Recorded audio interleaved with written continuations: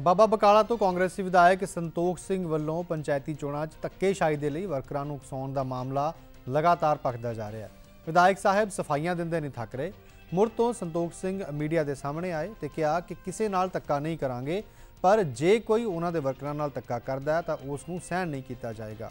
ਉਧਰ ਪੁਲਿਸ ਮੁਤਾਬਕ ਆਮ ਆਦਮੀ ਪਾਰਟੀ ਵਰਕਰਾਂ ਵੱਲੋਂ ਉਹਨਾਂ ਨੂੰ ਇਸ ਸੰਬੰਧੀ ਮੰਗ ਪੱਤਰ ਸੌਂਪਿਆ ਗਿਆ ਹੈ ਤੇ ਪੁਲਿਸ ਕਿਸੇ ਤੇ ਵੀ ਨਜਾਇਜ਼ ਪਰਚੇ ਦਰਜ ਨਹੀਂ ਕਰ ਰਹੀ ਹੈ।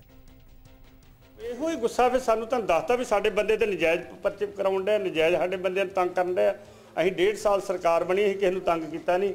ਜੇ ਹੁਣ ਸਾਡੇ ਬੰਦਿਆਂ ਨੂੰ ਕੋਈ ਤੰਗ ਕਰੂਗਾ ਤੇ ਅਸੀਂ ਵਰਕਰ ਦੇ ਨਾਲ ਤੇ ਖਲੋਵਾਂਗੇ।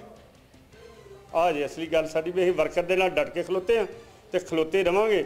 ਅਸੀਂ ਜੇ ਸਾਡੇ ਵਰਕਰ ਨਾਲ ਕੋਈ ਧੱਕਾ ਹੁੰਦਾ ਤਾਂ ਬਰਦਾਸ਼ਤ ਵੀ ਨਹੀਂ ਕਰਾਂਗੇ। ਅਸੀਂ ਕੀਤਾ ਨਹੀਂਗਾ। ਜੇ ਕੋਈ ਸਾਡੇ ਨਾਲ ਕਰਦਾ ਤੇ ਉਹਦਾ ਜਵਾਬ ਦੇਵਾਂਗੇ ਠੋਕ ਕੇ। ਆਮ ਆਦਮੀ ਪਾਰਟੀ ਦੇ ਬੰਦੇ ਕੁਛ ਆਏ ਸੀ। ਇਹ ਕਹਿ ਰਹੇ ਕਿ ਭਲਾਈਪੁਰ ਨੇ ਕੋਈ, ਭਲਾਈਪੁਰ ਪੂਰਬਾ ਦੇ ਵਿੱਚ ਆਪਣੀ ਕੋਈ ਸਟੇਟਮੈਂਟ ਦਿੱਤੀ ਹੈ ਕਿ ਅਲੱਗ-ਅਲੱਗ ਪਰਚੇ ਜਿਹੜੇ ਹੈਗੇ ਆ, ਨਜਾਇਜ਼ ਪਰਚੇ ਦਰਜ ਕਰਵਾਉਣ ਸੰਬੰਧੀ ਇਹਨਾਂ ਨੇ ਮੰਗ ਪੱਤਰ ਦਿੱਤਾ ਹੈ। ਸਾਡੇ ਵੱਲੋਂ ਇਹਨਾਂ ਨੇ ਭਰੋਸਾ ਦਿਵਾਇਆ ਗਿਆ ਹੈਗਾ ਕਿ ਕਿਸੇ ਵੀ ਨਾਲ ਕਿਸੇ ਵੀ ਤਰ੍ਹਾਂ ਦਾ ਕੋਈ ਵੀ ਧੱਕਾ ਨਹੀਂ ਹੋਏਗਾ ਔਰ ਨਾ ਹੀ ਅਸੀਂ ਅੱਜ ਤੱਕ ਕਿਸੇ ਦਾ ਨਜਾਇਜ਼ ਪਰਚਾ ਦਾ ਕੋਈ ਦਰਜ ਕੀਤਾ ਹੈ ਔਰ ਨਾ ਹੀ ਕਰਾਂਗੇ ਅਸੀਂ